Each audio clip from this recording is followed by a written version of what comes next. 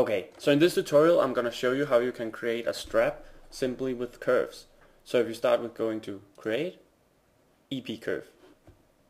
Go to your front view and draw your shape of the strap like this maybe. Go back to your perspective view and simply right click control vertices and you can change the shape so it looks more smooth. Now you can go to create, NURB circle, circle and simply draw a circle and then scale it down so it looks more like a strap. Okay, now we want this shape to follow the path. So if we select the shape, the path, go to surface, surface, extrude with options. This is the standard look, so we want two. We want it to start at the path and we want to follow it the path. Hit apply and now the shape follows the path. So now if we think we want it to be more, we simply change the circle, like this.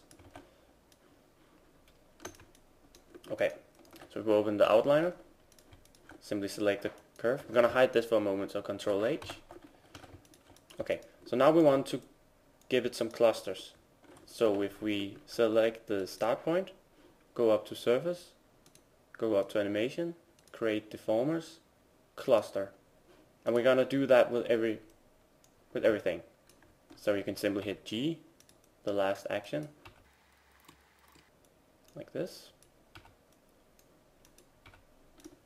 And if you want to be able to move the points later on after you constrain them, you have to make a group for them. So if we select each cluster and simply group them. So group, group, group, control G, control G, and control G. So now every cluster has a group and now we simply take so select this, select this, go to animation, constrain, parent constraint with maintain offset, like this. And we're going to do that for group 7 as well. And hit G, constraint, and we're going to do that for for every cluster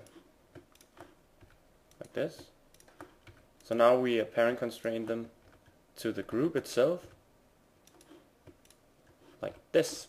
So now when we move the box, the clusters follow. So now we can unhide the strap. And now we have a strap. So now we can simply hide the curve. And the spline like this. Here we go. So now we have a strap. So when you move the case, nothing happens, it follows, but you could still change it just by moving the clusters. So like you want the shape to be more like this, and it still follows.